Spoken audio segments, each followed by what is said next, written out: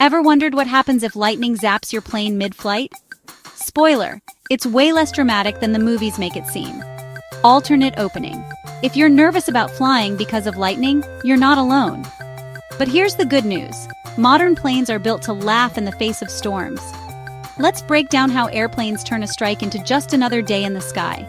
First things first, airplanes are basically giant flying Faraday cages. That means their metal skin guides the electricity around the outside, so the inside, where you're sitting with your tiny bag of pretzels, stays safe and cozy. You might spot little metal rods on the wings or tail. These are lightning diverters, designed to give lightning a preferred path in and out, kind of like an express lane for electricity. Sensitive parts like electronics and fuel tanks are shielded and grounded, so even if lightning dances across the plane, your pilot won't suddenly lose control.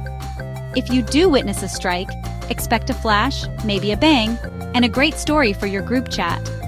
The plane might get some minor burn marks, but nothing a quick post-flight inspection can't handle. So next time you're cruising through a storm, remember, lightning can't scare a modern airplane, and it shouldn't scare you either.